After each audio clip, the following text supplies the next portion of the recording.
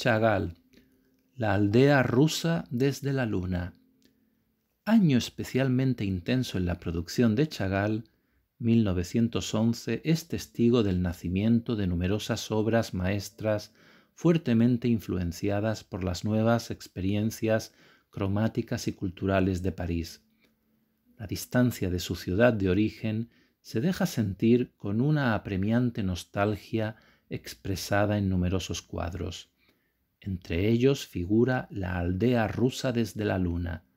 El título es en realidad mucho más amplio, ya que en el lienzo se concentra un conjunto de pequeños acontecimientos, de rincones de la aldea, de momentos diferentes.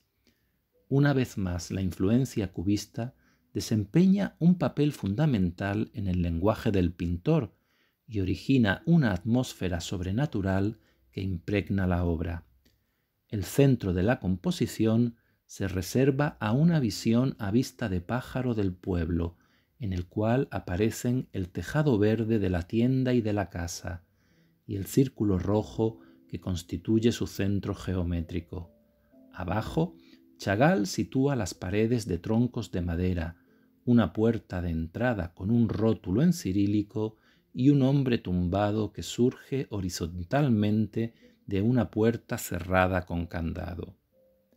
La fantasía del pintor se inflama sobre el tejado, donde aparece un hombre sin pantalones, solo con una chaqueta roja, y que extiende los brazos hacia el cielo amarillo, guiado en este vuelo sobre los tejados por una cabra blanca y verde.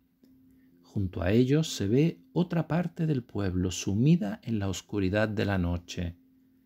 Chagall nos describe un lugar de su intimidad a través de la memoria y de la imaginación y expresa el deseo del hombre de lanzarse hacia la luna, acompañado del animal que es metáfora del paso del mundo real al de la fantasía, así como del de la fantasía y la interioridad psíquica.